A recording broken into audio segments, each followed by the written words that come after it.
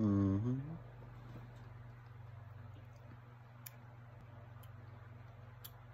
I can't. Tastes like Skittles. Can't. Has like a slight lemon taste.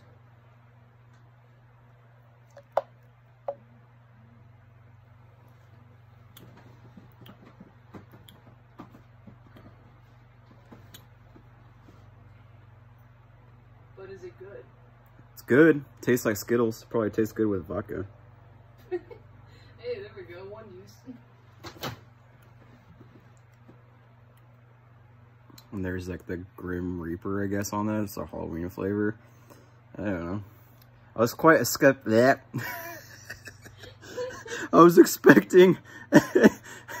there, this Mountain Dew's got me fucked up.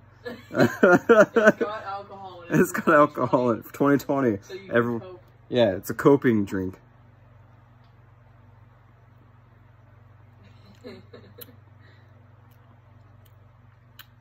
The way to describe it, it's, it's a Skittles flavor.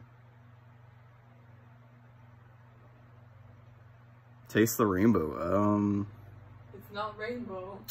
this year hasn't been rainbow. Not what I expected 20 to taste like. Anyways, it's out now. You should go try it.